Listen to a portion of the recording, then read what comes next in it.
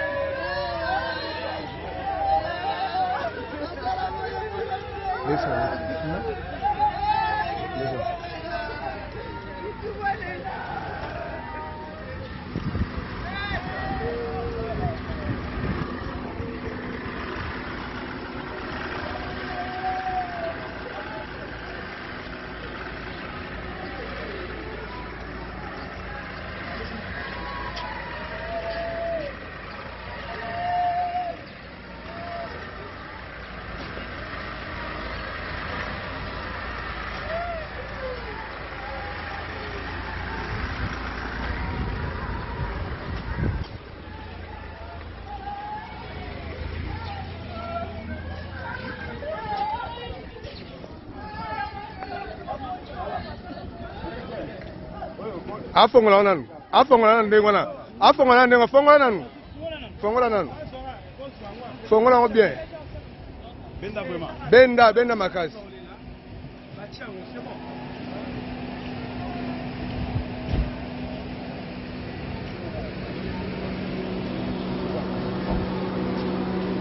Bienvenue sur tolobela vie officielle.com. Merci bandeko bolandaka biso partout na mokili mobimba. Nalobaka biso soki moi ekoti biso tobimi hein, biso eza mpe moi genre merci la grande équipe atolo de la vie quatre fois prêtre washington le grand pays na munich merci mpona baservice euh, willi lutala kaka merci merci encore na notre réalisateur steve malungwene sans bino mawato rik shimanoka pdg authentique toza na paris je crois boza komona biso nde tovandi boye euh, oyo na yambi kombo na ye willi star oyo ayebi ayebi lelo willi star tobeta masolo mingi mingi parceke baza na matanga tobeta mingi masolo ya petit rigen parceke abimaka deja wana petit rigen petit rigen il avait que 9 ans demi nde balobaka seri wana alors mwa parcours mpe ya willi star parceke kombo ya willi star eza kombo elobamaka mwa mwa trop na batemps wana alors tokomeka mpe toyeba willi star euh, relation na ye na bavie na ye tomeka kobeta no mpena mwa masolo willi euh, bonjour bonjour papi gene bonne santé Ça va mon frère, ça va, alhamdoulilah, nous sommes dans le bâtiment. Ça va, on est pour les Bénin. Hein? Vraiment. Willy Staré. Merci, Binadam. boni boni na bamoni bavie na ola jb mawera bango nyonso va tout le monde euh, bon toza en bon terme na bavie na nga mais surtout mingi mingi na le vainqueur de danger ye nde tozozala de tous les jours de tous les temps toza vraiment presque tous les jours on se parle au téléphone mm. mais hein, bavie mosusu on est toujours en contact mais bon ekomi kaka ke okoli okomi mpe na mwa makambo na yo mm. mais baza kaka bavie nanga toujours en bon terme tozaka toujours bien willis abeta biso nano lisolo willis star nkombo wana eh, ekotaka trop osalaka lipo nkombo ekota mbala moko parce que nkombo wana ebimaka trop trop trop trop trop sérieux mm. eh, bon c'est vraiment wenge musique en fait si mm. je peux dire pour être reconnaissant c'est wenge et précisément jbmpiana parce mm. que ye moto asala nkombo ya willis star ezala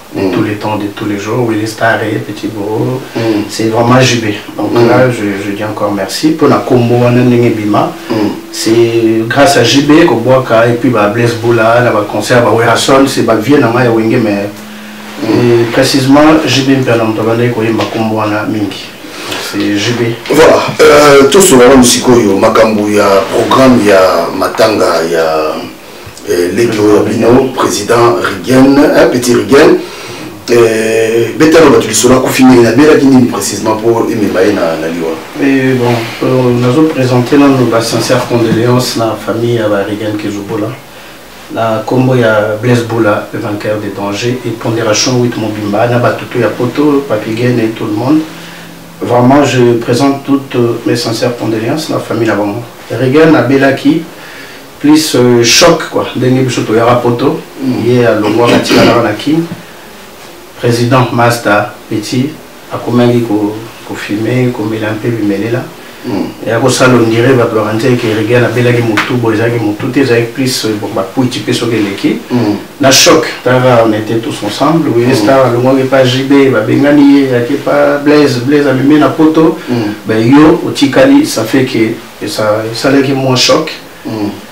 e masta apeti na biso akomaki plus na bakweti esalaki abeli abeli akomotuse akomi mpe euh, libanda libanda mm. ti eye komema ye bakende na sana e akufi donc c'est vraiment triste euh, bato balobaka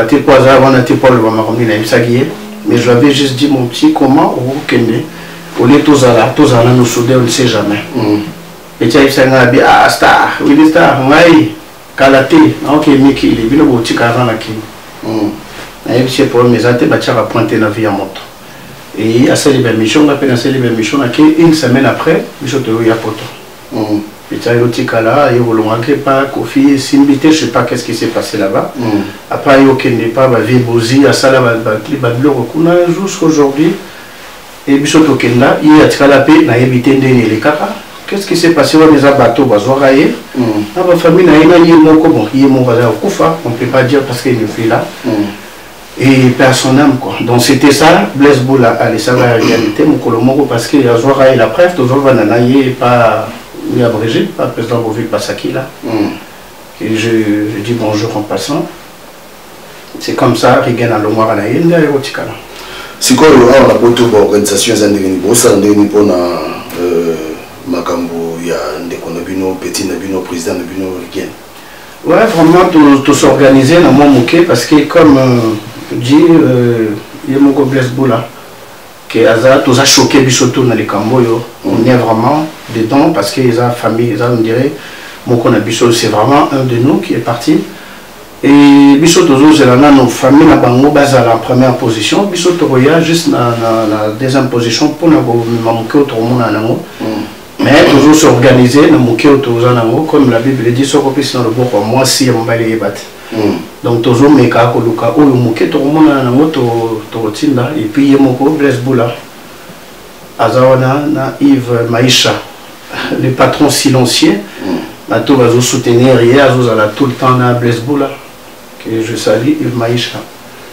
Regan awutaka wapi Regan awutaka wapi bozwaka ye wapi tobeta sikoyo mwa lisolo na ye eh, Regan awutaka na ngiringiri hmm.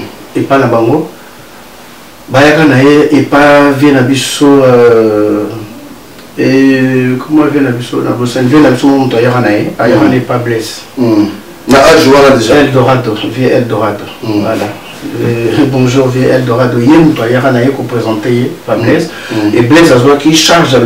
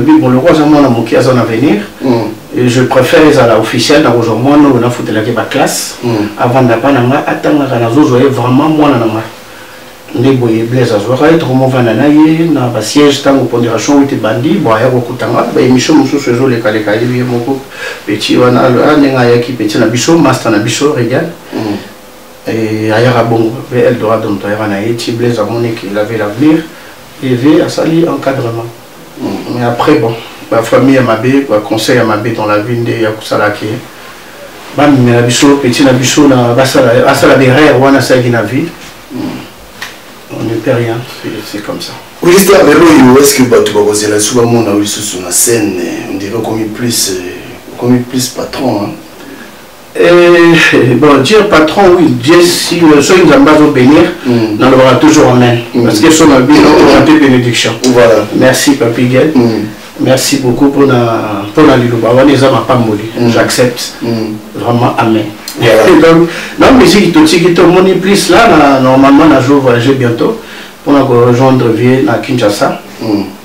po mwa baconcert fo esalema epuis mwa baprojet mpona promotion ya album avie ota kobima mm. mais tozala nano après matanga ya rigen mm. parce que normalement akor efi obima samedi oyo oye vendredi ya semaine prochaine mpo bakunda ye euh, e vendredi bakunda yango samedi Mhm. Si tout va bien, mais musique, je suis toujours, je fais toujours de la musique, mais la poto le mot yebe. tolingaka te musique ya kobetaka chaque samedi kaka oye obeti te mhm. je préfère kosala musique oyo ezomonana oyo ezosalema mais c'est plus na congo ke tokosala musique mhm. nazokende kojoindre vie na kinshasa mpona kocontinue musique donc je suis toujours euh, vie nazoloba na blesbula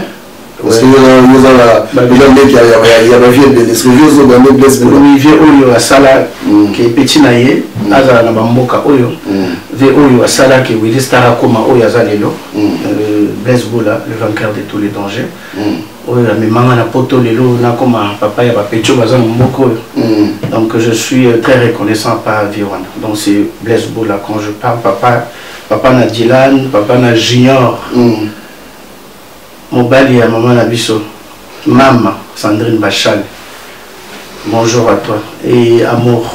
Oui, liste ozalaka ozalaka trop proche ya JB Mpiana. Mm. mais moi lisolo moke kaka ya vite fait lelo tanga biso masolo matanga mais eyaka lisolo bato bayoka mpe kaka mais eloni esalaka mpenza ke willis ta complètement mosika ya jibe mpiana parce que ozalaka batala kaka mpo likambo ke willis ta voilà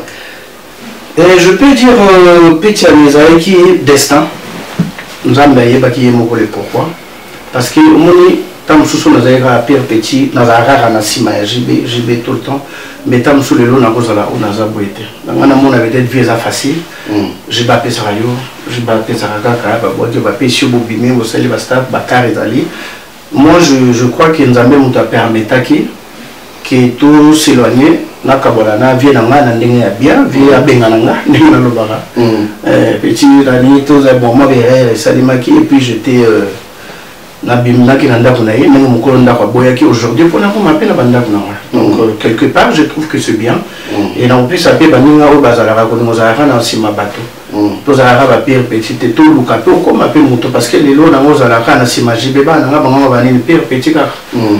donc tu vois ça allait faire un peu euh, pas bien mais mm. je trouve que tokabwanaki par la volonté de l'éternel mais relation na yo na ye lelo non ça va c'est il reste mon papa yango ozwi telefone obengi ye soki azolanda nga to bato baolanda bayebi nabengaka vie na nga nabengaka ye boni vie na nga comment tu vas merci star il est fier de moi aza fier na évolution ya petit na ye Parce que papa malamu azalaka toujours na na honneur moko fier moko soki petit oyo ye azo réussir na vie parce que soki na échouaki na vie elingi ozala mpe mawa mpo na ye mhm. donc euh, je suis sûr qu'il est fier de lui na petit oyo ye azalaki na ye alongwe akomi lelo mhm. malgré blaise bola amemi nga na poto me baza bavie na ngai ya clan comme je dis toujours blaise aye kolakisa nga kopeshe mhm. naoki na bolobi wana me alobi ke bato ebele bazoloba mpo nga ayoka kaka ah balobi willi star kutu ndenge aza wana akoma trop eh, amida eh, akoma trop eh, ex femme ya ya jb mpiana ya pire vie na ye pendant que eh, femme wana vie nde bazala soutien mais willi akoma trop okangama kangama kangama nde na na femme wana euh, eh, bato mosusu bato mosusu bazwaki yango na ndenge mabe bato mosusu bazwa na ndenge fo Ah oui, bon, je, de toutes les façons, merci beaucoup, Papi Guélé, pour la émission, euh, pour la question là, où ils ont émission, tout le bel avis. Ça veut mm -hmm. dire, on parle de choses de la vie, de l'avenir. Mm -hmm. Et nous avons profité pour couper sa association Colombia Mère Amida, Mbote, Amida Kamé. Moi aussi, à président na biso vie na biso vital kamere mm. aza mare na nga lelo oyo vie na nga aza na vie na ye mare na nga aza na vie na ye papa na bino soki akaboyi na mama na bino je ne crois pas que yo okoma na parti pris olobisa papa te mpo papa akomi na motu songolo to kolobisa mama te mpo mama akomi na motu songolo mm. nga dans tout ça ndenge oti oloba nayebi so na bino aza bien na vie na nga JB Piana mm.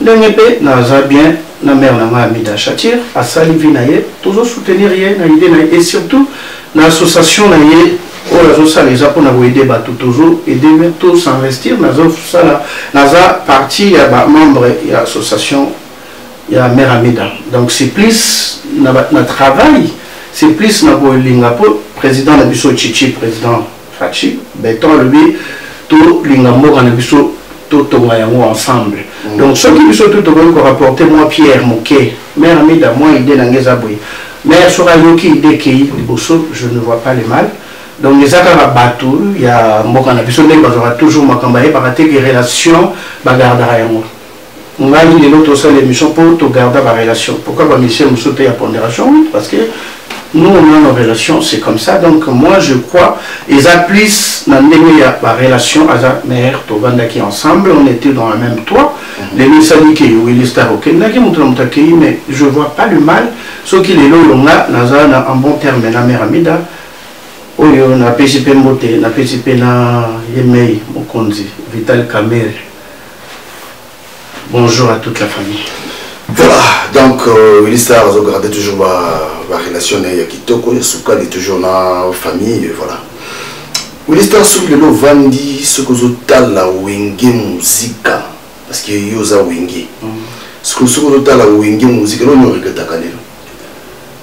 Ouais, na regrettaka plus euh, ndenge euh, bon okabona comme on dit séparation ya wenge ezalaki peut-être le malheur comme on dit le malheur de, des uns le bonheur des autres mm. wenge kabona yango lelo esala biso baoto ya bapoto donc quelque part je peux dire que ntango wenge kabonaki c'est vrai on était triste nous tous Mais esala ke biso ba oyo toya poto Blaise amema biso mpo bakabwanaki soki azalaki peut-être bazalaki kaka ensemble eta bon tokoki mpe koya mais on ne sait jamais mm. mais na minute oyo depuis wenge kabwanaka wenge mema bato ebele baya na bapoto ebele ebele baartiste ebele oyo bazalaki na milieu bamema bamusicien na bango je peux pas citer le nom de tout le monde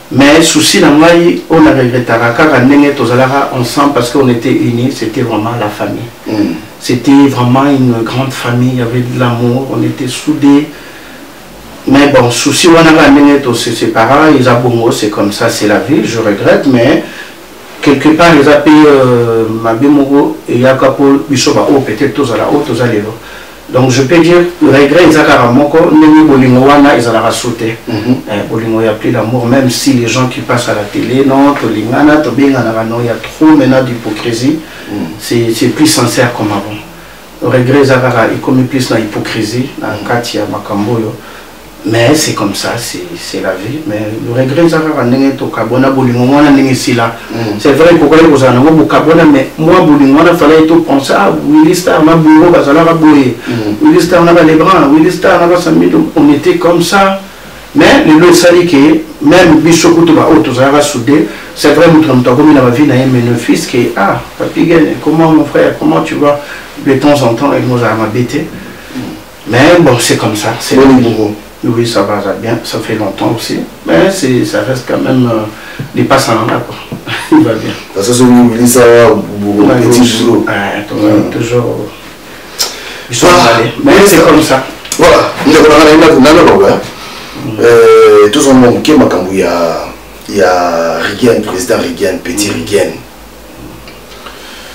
est ce que bozwi mwa basaki nde ezalaka to mosusu bozwi mwa sale mwa nini mpona bato bakutana mpe awa mpe na poto bosala neti na bolingi rien to ndeni we normalement tozosala baprojet yango mpo topesa tokopesa programme na ozonga peut-être komona yo mpe tokopesa programme mpona kozwa sale moko mpona korendre hommage na petit na biso regen tokosala yango c'est vrai mais tokosala yango plus après enterrement nde toluka place tocommunike yango na presse on va tout faire po ezileka vraiment na, na bolingo nyonso to torendre peti na biso regan hommage ya suka akende na honneur oyo améritaki etant que moninga tozalaki ensemble peti na biso on a vécu quand même ensemble on a passé de bons moments ya mpasi na bisengo mm. on était ensemble alors faut tokende na ye jusqu'à la fin c'est vrai toluka moyen To louer ça, on est en train de, de voir ça avec des amis, des, des collègues. Mm. Na bato ba nous soutenir biso. Et puis to communiquer bino mokoni ni date ekozala mpona korendre dernier hommage na reagan kizobola président ntango oyaka poto euh, bozongaka combien combien bazongaka combien batika ntango toyaka poto pour l'instant ngaka tokende kozonga to kotikala mm. c'est trop dire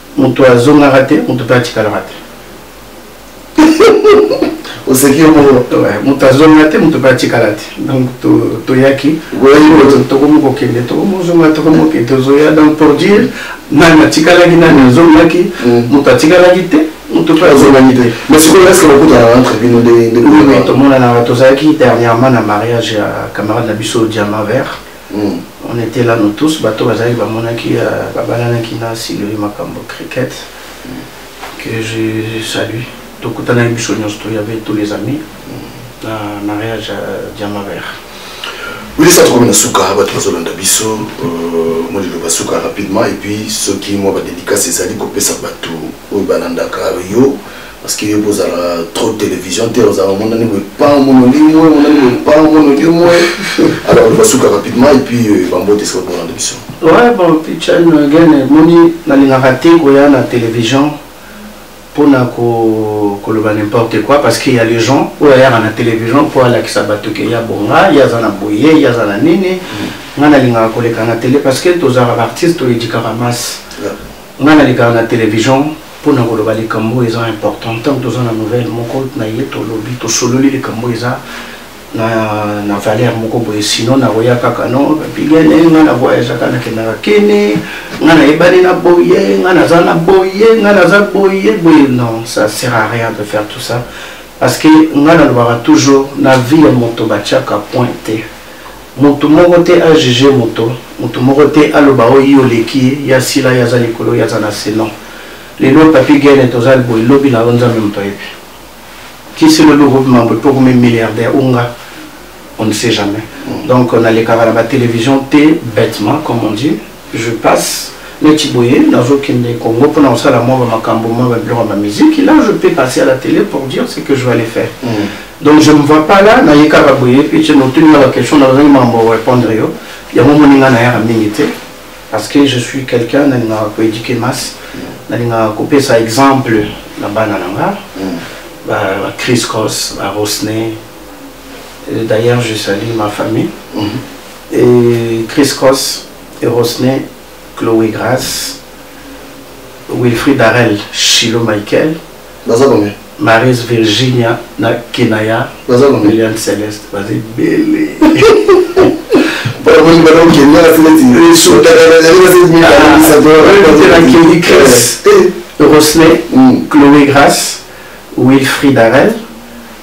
Maryse Virginia, Shilo Michael et la petite dernière, ma petite Kenaya, William Celeste. Et la PCP maman la bango Ange Mbaya Mbote, la mère de, de multitude, comme on dit, la mère des enfants, oyo azo sala, azo soutenir ngai na bo na bonheur tout na souffrance na pasi na bisengo on est toujours ensemble mm. il faut topesaka mpe bamama na biso wana honneur na mwa valeur obligé mm. parce que obligé. naza na plaisir mpe ya koleka na tele bamosusu baartiste ebele bakomi oleki na tele ozobomba mm. eh, te soki obombi ye oyo wana mosusu mpe akoya na nsima mama bakobomba yo mm. donc oyo asali asali ozala te mpo aza nzambe te oyo mm. asoutenir yo comme je mm. dis mm-hmm. Ange, elle est là pour moi, na, na, na, na, na souffrance. Ange Mbayabo. Na pesi yombo te bele madame na biso. Et merci beaucoup encore pour tout. Nzambe apambola ye, azongisela ye ebele. Merci pour na bana. Parce que moni le meilleur cadeau que la personne peut t'offrir est la moine. Et elle, elle m'a donné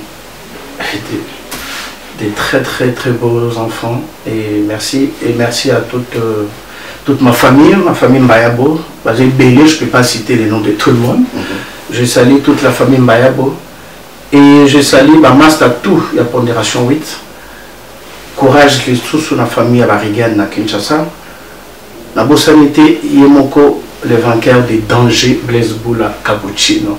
Aza aza na kini. Aza na kini nazalaki na ye na femme tout à l'heure avant na mata. Mm. Et Yves Maisha le patron silencieux. Na bosani te maman Pata, maman Pasteur.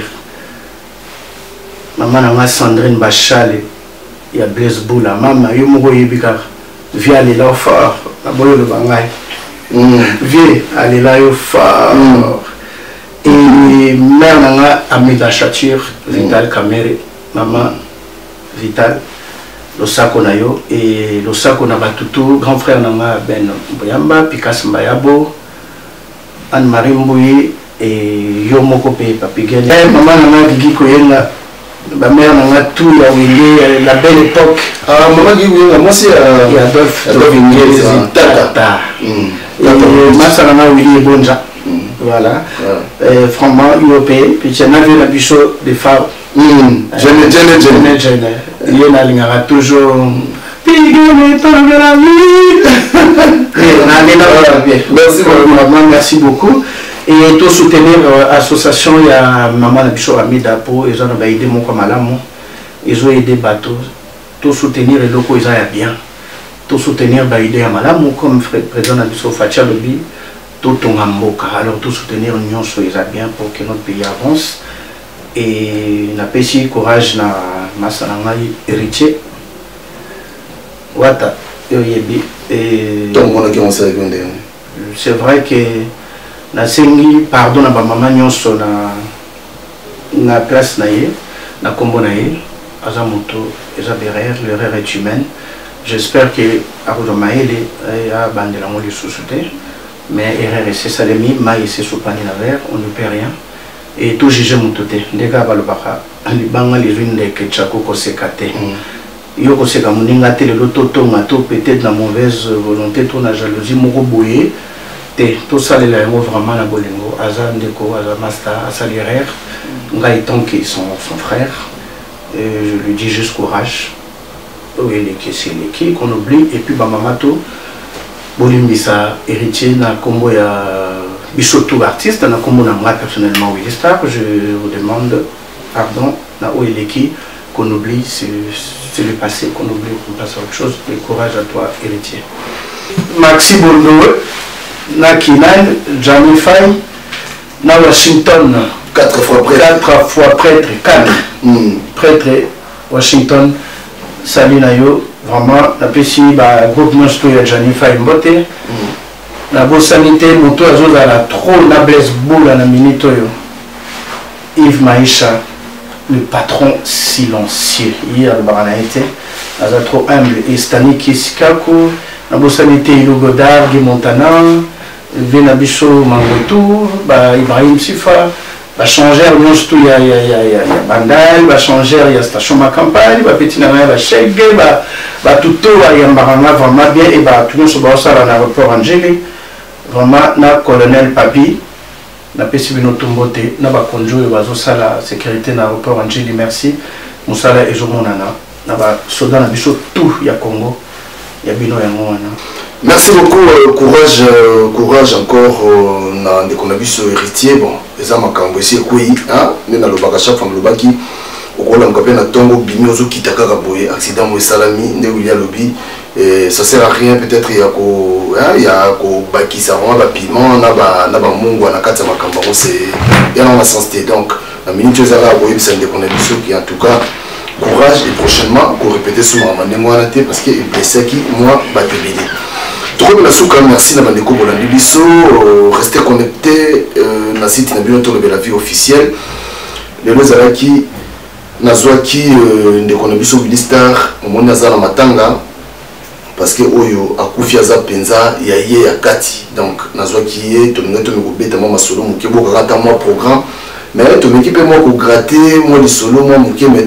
nakozwa ye mpenza tokovanda tokosolola mpenza masolo yango ya Willy Star ba bourreau ba wenge tokobeta bino masolo yango mpena bien bien bien makambo oyo eleka nanu en tout cas avant kende Kinshasa ndenge alobi wana tokoya avant de tobeti sikoyo mpena masolo wana eza so masolo ya mawa te ekomi sikoyo masolo mpena ya ya esengo donc d'ici là portez-vous bien restez connecté osami motu moko vraiment okolingi aswanisa nga te père na ngai jp moteba le facilitateur na petit frère de moi, jean le konjavilele c'est C'est Bayabo vraiment je vous embrasse tous Kenaya la petite dernière Yaza ah, papa j'ai pas pas bien entendu t'avais dit quoi là mm. là j'ai dit Kenaya c'est toi ma chérie voilà et bisous à vous tous toutes mes enfants je vous aime tous et puis euh, merci beaucoup à toi aussi Papi Guéné merci merci beaucoup